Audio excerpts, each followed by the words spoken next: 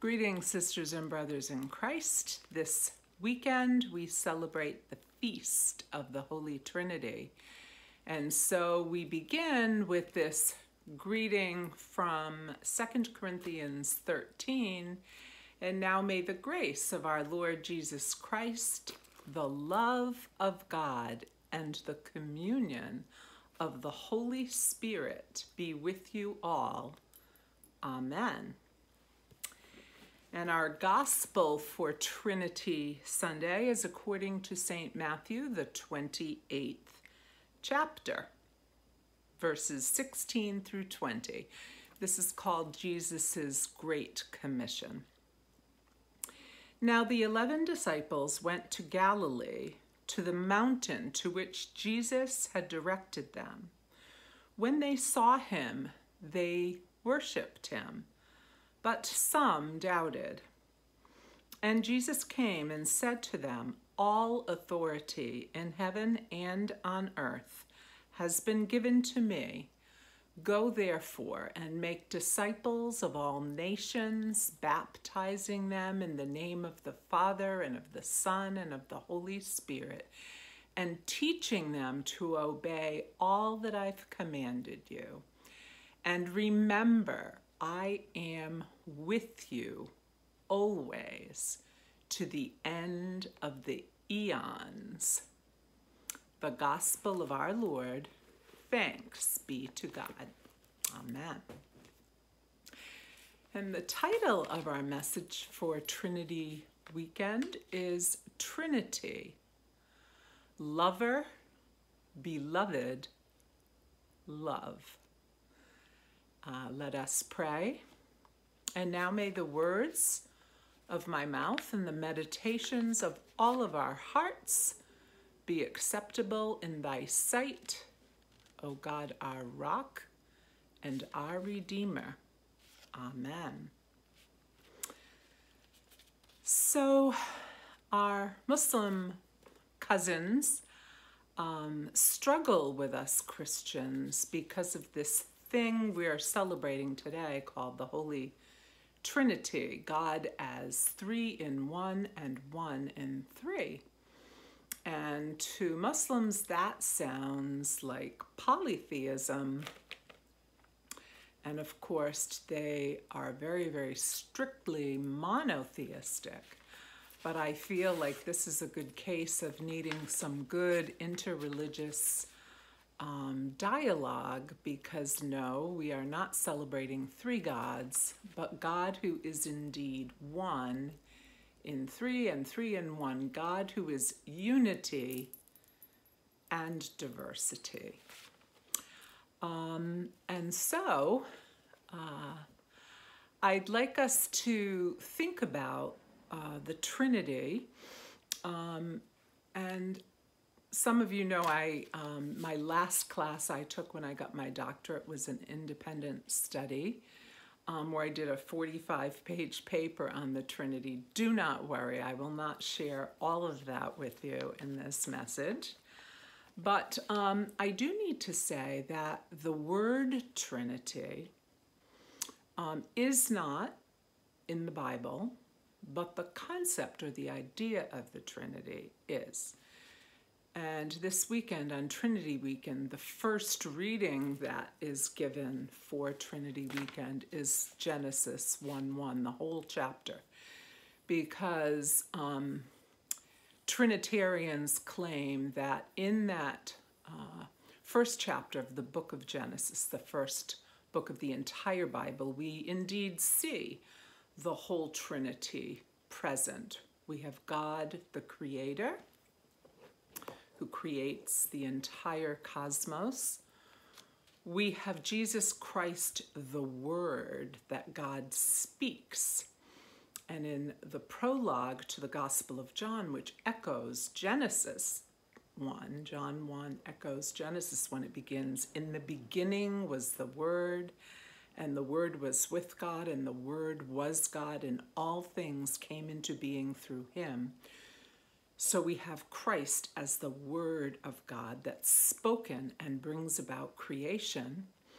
And then, of course, we have the Holy Spirit ruach, that breath of life, that wind that blows over the waters of creation, and that breath of God that brings forth life. So we have, if you will, Father or Creator, Jesus or Word, and Holy Spirit, wind or breath of life. The second reading uh, in the Bible, which does speak specifically of the Trinity, is the one I used as our invocation, and that's from um, 2 Corinthians 13, verses 11 through 13, where St. Paul writes, And now may the grace of our Lord Jesus Christ, the love of God, and the communion or fellowship communion of the Holy Spirit be with you all. And there we see a little, a slightly different Trinitarian formula. It starts with Jesus and then God and then the Holy Spirit. Um, Trinitarians also say that the other two places where um, the Trinity is present in the Bible is in the baptism of Jesus, where um, at Jesus' baptism we have the Father, who's that voice from heaven Behold, my beloved Son, in whom I am well pleased.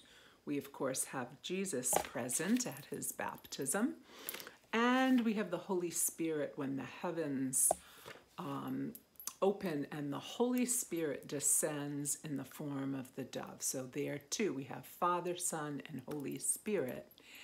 And in today's gospel, gospel from Matthew 28, verses 16 through 20, that's known as Jesus' Great Commission, um, he gives us this um, baptismal formula that many Bible scholars believed was used in the earliest Christian communities that when we baptize, go make disciples of all nations, baptizing them in the name of the Father and the Son and the Holy Spirit.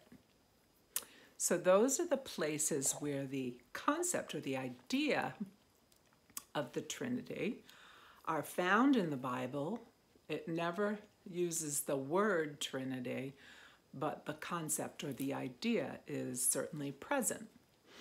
Now, when I did write my 45 page paper on the Trinity, um, the paper was called something like The Trinity God as Relational.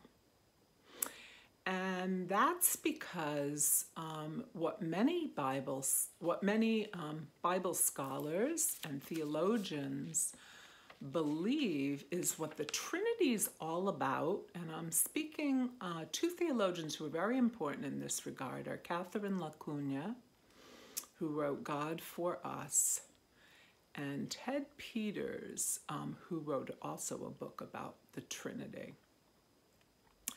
And these two theologians do mention that one of the things that that's so important about the Holy Trinity and is what it's trying to teach us is that God, by God's very nature, is relational and that there is this in God, within God, there is this unity which is includes and incorporates diversity. Okay, so we're going to look at those two things God as relational and God as unity, including diversity. Um, so God is relational. When I wrote my paper, I mentioned that the very word Father that we usually use for the first person of the Trinity is a relational word. You can't be a father without having a child, right? Father is a relational word. It um, presupposes this um, child, this relationship. in a similar way, the word son is a relational word.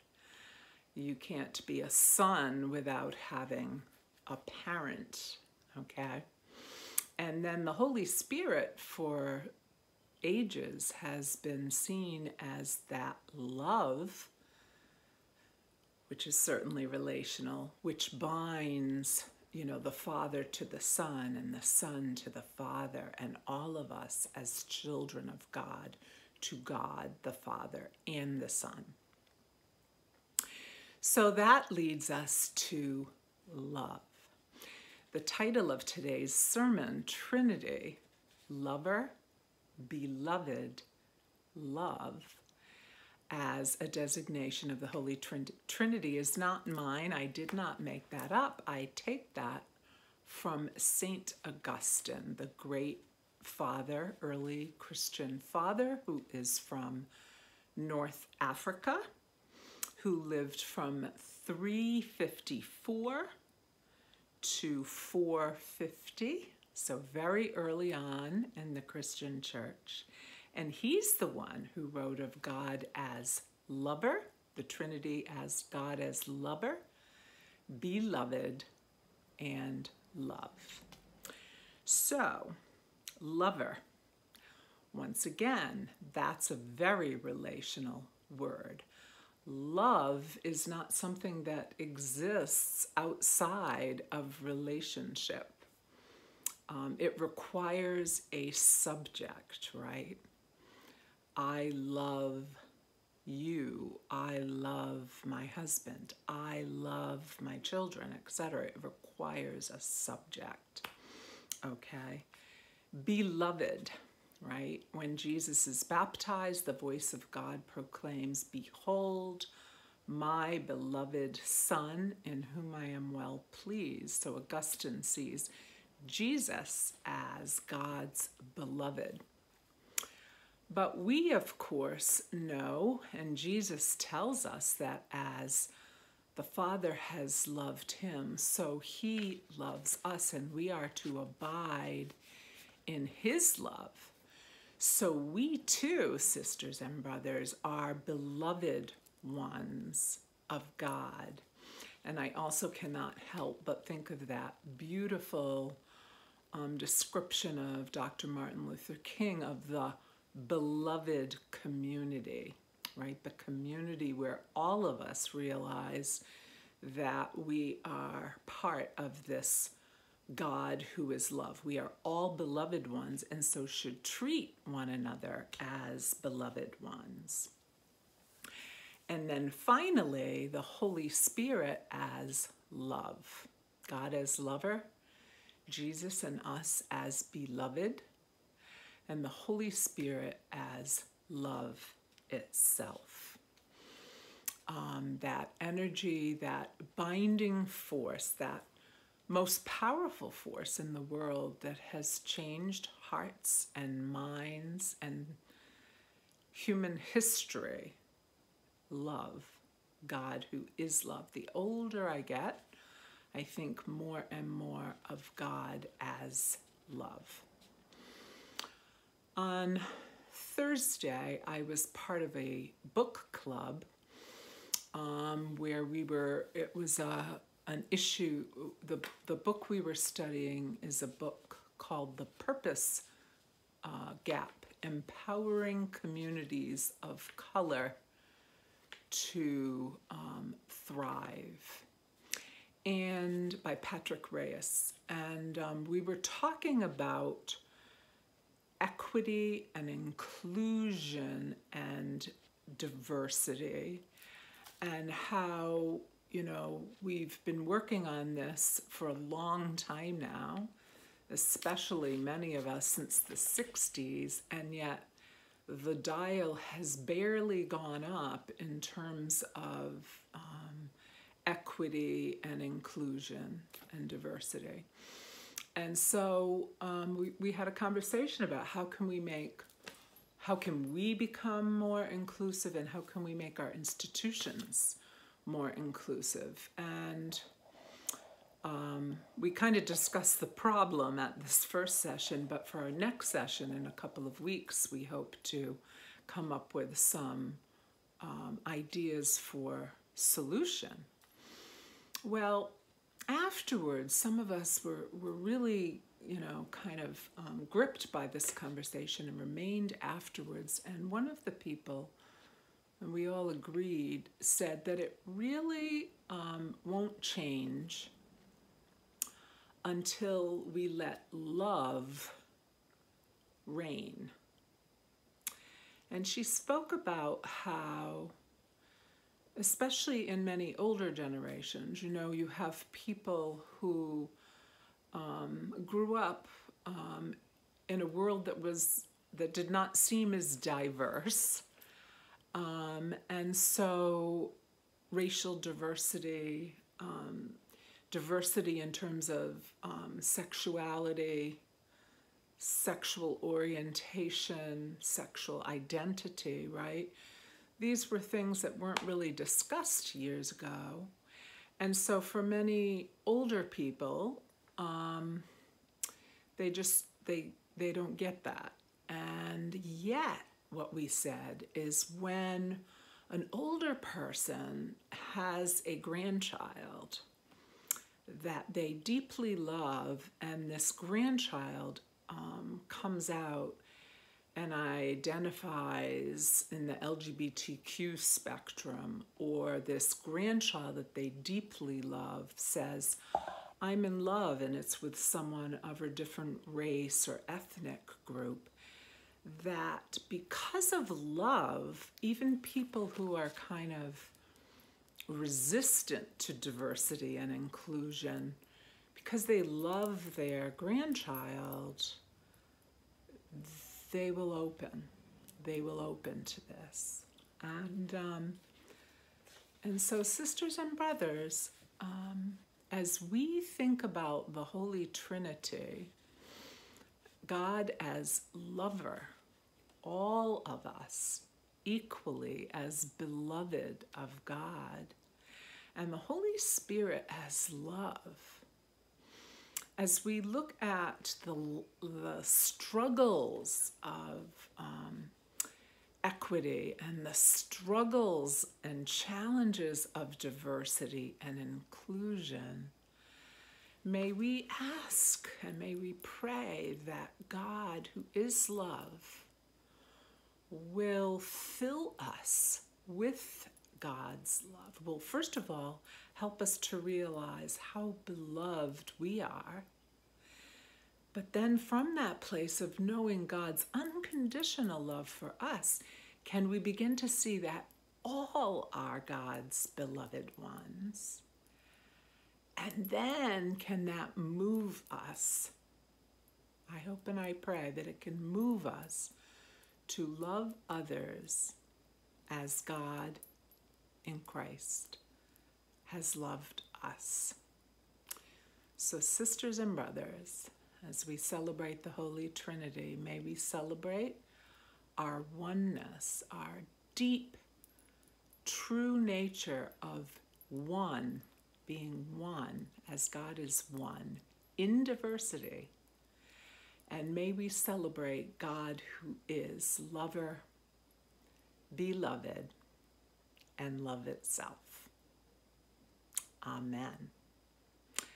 And now, may the grace of our Lord Jesus Christ, the love of God, and the communion of the Holy Spirit be with you this day and forever. Amen.